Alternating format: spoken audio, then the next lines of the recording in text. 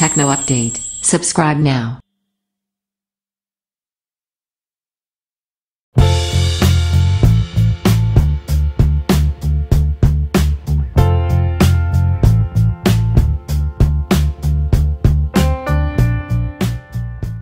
Honor 9 Lite Review Design and Build There's no design overhaul when it comes to the Honor 9 Lite. It does indeed look like the Honor 9, one of our favorite mid-range phones ever, so uses the now familiar combination of glass and aluminium. Honor's current range of phones are very glossy and eye-catching thanks to the glass front and rear covers and the signature blue color. The mirror-like finish, on the blue and gray models, might be attractive in photos but quickly gets grubby with fingerprints and the like. The new screen means the Honor 9 Lite is a little taller than the regular model.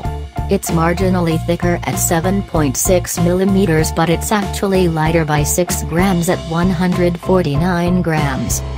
Specs As mentioned already, the Honor 9 Lite is something of a combination of existing phones. Much is similar to the regular Honor 9 but the even cheaper newbie has the same 18 to 9 style screen available on the View 10. That screen is 5.65 in so it sits between the 9 and View 10 in terms of size. It's a big screen considering the physical size of the handset. The resolution slightly higher than the 9 at Full HD plus 2160 by 1080 to accommodate the 18 to 9 aspect ratio and retain the 428 pixel density.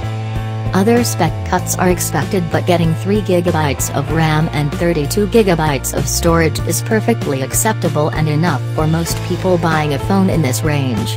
And there's always the microSD card slot if you need to add more storage, up to 256GB more. Apart from having a full view display, Honor is really selling the 9 Lite on the basis that it has no less than 4 cameras. You'll find a combination of 13 and 2MP camera on the front and back. Each pair works together to provide what's commonly known as a portrait mode, where the 13MP sensor captures the detail while the low-resolution sensor is there for depth effect. Although the rear cameras are the same, they feature HDR and phase detection autofocus.